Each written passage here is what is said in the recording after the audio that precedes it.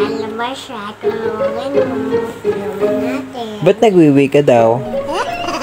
Eh, kasi, ang nagalibang ko, bu ako sa dagat. Nagwiwi ako. Dahil umiwi na ako. Nakailangiwi na ako.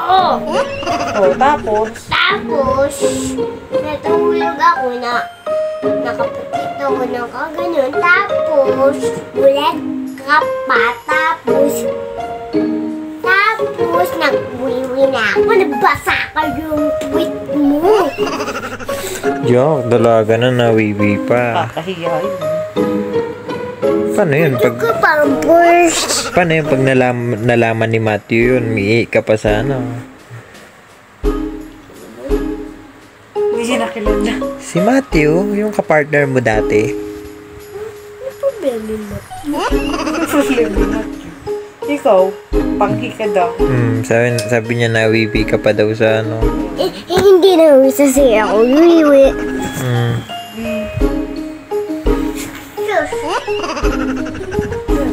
Dalaga na nawiwiwi pa. Ay, sus, magpapagtapang lalaking gwapo. Mag?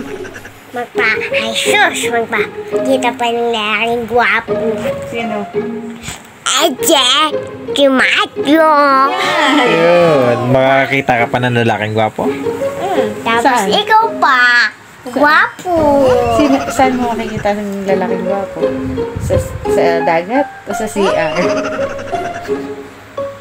Saan? Sabi daw nung lalaking gwapo, may ihi ka daw sa Hindi ka gaan. daw niya gusto. Sa sina. Hindi ka daw niya gusto. Kasi nawiwi ka daw sa gaan, banghi. Hmm, paano, paano na? Ay, sus, magkaibigan lang kami. Hmm, Eh, kaibigo. crush mo nga. Crush mo nga yun eh. Crush. Anong crush? Kaibigan naman to. Jesus! Kaibigan lang ang turing. Kaibigan lang turing mo sa kanya? Paano kung ligawan ka niya? Crush ko ba siya? Crush mo ba? Di wow. Di mo ka. Ay, may crush ka na kay Matthew? Sabi mo nga kay daddy, tatanungin daddy. Crush mo ba si Matthew? Hmm. Sabi na eh. Sabi Crush na eh, mo kiri. Si Matthew eh. Di wag Po-. Ano? Bata ka pa.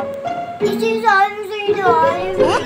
Ano sinasabi ni Daddy? Tinatanong nga ni Daddy. Ayoko nga talaga siya. Mhm. Bakit? Ba't ayaw mo talaga siya? itu sih wabu-wabu makan si Dadi. si Dadi nalang. Hmm? Dadi na lang ba? Ha? Upo.